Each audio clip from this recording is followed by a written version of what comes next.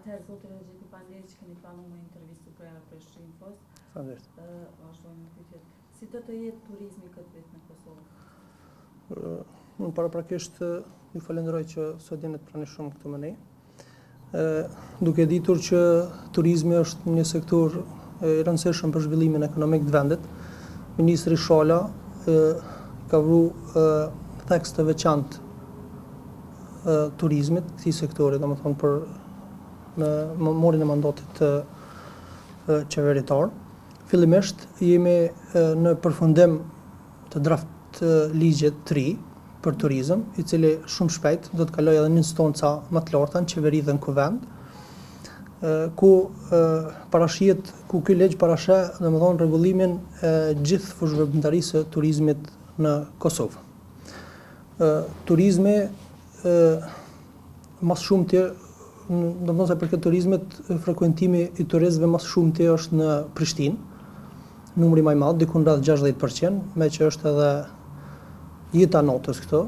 Pastaj kemi zhvillim të turizmit natyror, ku përfshihen ku zakonisht tur operatorët ofrojnë pako turistike tur operatorët realisht, por pako turistike në vendet malore, siç është Via Dinarika, Rugova, pastaj vijat ndërkufitare që lidhen me Shqipërinë, Valbonën, Malin e Zi e tjerë, kështu me radhë. A pritet të ketë diçka risi në këto vende turistike këtë vit? Ministri, këtë rast ministri Shala, domethënë Ministria e Tregtisë dhe Industrisë, objektivat për zhvillimin e turizmit të qëndrueshëm për këtë vit, domethënë ka parapa hartimin e strategjisë hartimin e strategjisë kombëtare të turizmit, kompletimi i kornizës ligjore pas miratimit të ligjit për turizëm, Bashkëpunimi rajonal për promovim të turizmit, domethënë projektet për zhvillim të turizmit ndërkufitor dhe ofrimi i pakove të përbashkëta me shtetet e rajonit për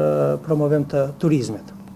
Ne, gjatë muajve që lamë pas, kemi iniciu marrëveshje bashkëpunimi me Shqipërinë, Malin e Zi, Turqinë dhe Maqedoninë, ndërkaq kemi nënshkruar një marrëveshje bashkëpunimi me Japoninë, marrëveshje e cila parasheh shkëmbimin e përvojave turistike dhe rritjen e turistëve, domethënë rritjen e turistëve në Republikën e Kosovës.